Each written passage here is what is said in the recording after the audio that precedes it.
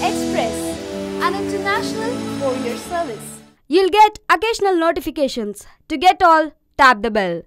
Actor Rahul Roy, known for his 1990 romantic film Aashiqui, joined the BJP in the presence of Union Minister Vijay Goel. After joining the ruling party, Roy, 49, held the leadership of Prime Minister Narendra Modi and BJP President Amit Shah and said it was a significant day of his life. Prime Minister Narendra Modi and BJP Chief Amit Shah are taking the country forward and the progress is remarkable. It's a significant day in my life. The way Modi ji and Amit Shah ji have been taking the country forward also in changing the view of how the world looks at India now is remarkable, he said after joining the party. The 1990 film Aashiqui had catapulted Rahul Roy to fame. His chocolate boy looks and unusual hairstyle found him a lot of fan following. His film career since then has been indifferent. He also won the reality TV show Bigg Boss in 2007. For more updates, please like, share and subscribe to YoYo Times.